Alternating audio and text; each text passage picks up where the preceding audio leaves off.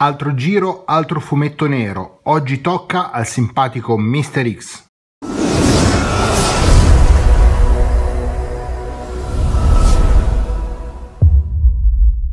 Agenti Alfa, buonasera e bentornati sul canale. Continuo la mia personale rassegna di personaggi dedicati al mondo del fumetto nero italiano e questa sera parliamo di Mr. X. Non è un caso che vi ho portato questo personaggio perché Mr. X è uno dei primi. Come abbiamo parlato recentemente di Fantax, di fatto il primo vero epigono di Diabolic, Mr. X si inserisce esattamente tra l'uscita di Criminal e di Satanic, infatti fu pubblicato nell'ottobre del 1964 a cura dell'editore Cervinia. Insomma, Mister X è un personaggio uh, dei fumetti neri italiani realizzato graficamente da Giancarlo Tenenti e ha dato vita a due serie distinte, una molto lunga di 53 uscite, una seconda di 9, a cura però di un'altra casa editrice, perché come ho detto spesso e volentieri queste testate venivano rilevate da altre perché avevano quasi sempre problemi dal punto di vista legale e allora poi si tentava di rilanciare il nome sotto praticamente un'altra veste. I disegni venivano realizzati prevalentemente da Giancarlo Tenenti, ma la cosa interessante sono le copertine, perché le copertine erano dello stesso Tenenti, ma anche di un certo Mario Piovano che era abbastanza nota quel tempo per la realizzazione di locandine cinematografiche e qui magari Andrea di Canno TV può trarne qualche spunto per i suoi video oppure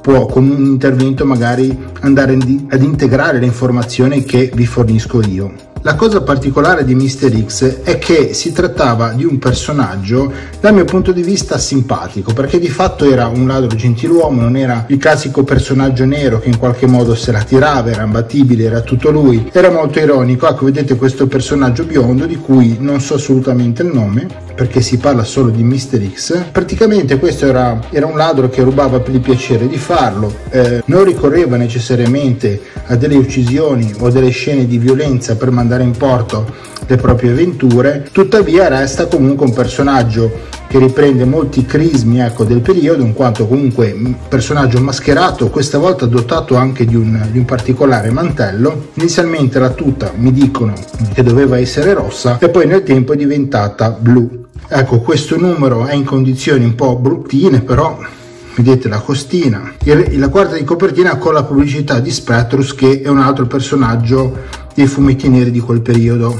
Chiaramente le copertine sono, le, pagine scusate, sono ingiallite, però non ci sono strappi particolari e come nel caso dell'altra volta di Fantax, insomma è tutto ben leggibile e diciamo che insomma l'ho inserito volentieri all'interno della mia collezione senza grossissime pretese. Questo è comunque un, un albo della, della prima serie, quella delle edizioni Cervinia. Inutile sottolineare che le dimensioni del fumetto sono sempre le stesse, pocket, quindi circa 12x17 o 16,5. In fondo Mr. X era caratterizzato da questi racconti intitolati I gialli di Mr. X e poi come al solito ci sono le barzellette, c'è c'è cruciverba qui ovviamente debitamente compilato chissà da chi tanti anni fa la pubblicità di Spectros come dicevo prima altre barzellette e come vedete ulteriore pubblicità alla, alla testata e alle uscite proprio di Mr. X eh, che dire eh, la cosa che ho trovato interessante è questa presentazione iniziale dei personaggi perché viene fatto il, il panorama di chi apparirà all'interno della storia anche qui c'è il classico commissario che cerca di prenderlo in tutti i modi, che è André Roux, poi c'è la compagna di vita di eh, Mr. X che è questa asiatica Timmy Lang e poi Mr. X viene, viene presentato ma non viene detto qui il suo nome e poi qui appunto c'è una carrellata di altri personaggi. Ecco, questa qua è una storia di cui non vi sto a parlare troppo, però è una storia che ho trovato carina rispetto a, alle altre. La vendetta di Mr. X. È chiaro che ci sono sempre, secondo me, dei buchi di sceneggiatura un po' improponibili, però già ad esempio i disegni sono più gradevoli rispetto a quanto visto, soprattutto rispetto a Fantax, ma anche a Ginfernal. Quindi sono disegni gradevoli per un fumetto pocket dell'epoca dove eh, dove praticamente c'era una sfida continua fra testate di, di, fumetti neri e quindi devo dire che forse ho guardato una silhouette alla Magnus.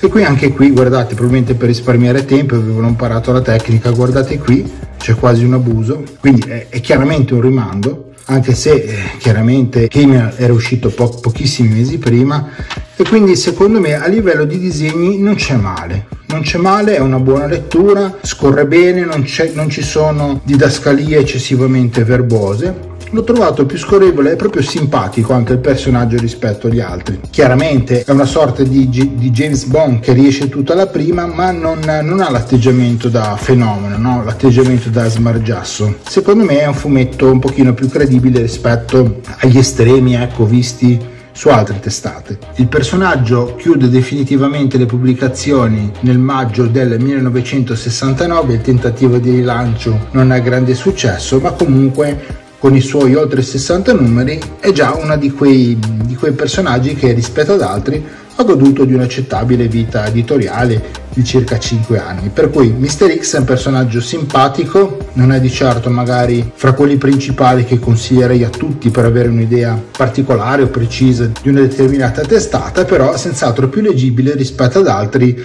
ai quali mi sono approcciato. Con questo è tutto, ci vedremo al prossimo video dedicato ai fumetti neri e ne approfitto per ringraziarvi perché ho notato che sul canale questo tipo di video viene particolarmente seguito e spesso ci sono tanti commenti. Evidentemente, pur essendo ecco, un settore di nicchia, desta parecchie curiosità. E, non me l'aspettavo, una cosa che mi ha fatto molto piacere e spero che mh, altri colleghi youtuber che di solito parlano di fumetti neri come Okusai Bar, come Low Profile o come ad esempio anche l'isola di carta continuino a farlo perché secondo me stiamo facendo tutti insieme un buon servizio nei confronti di quel periodo così importante del fumetto italiano. Con questo è tutto, al prossimo video.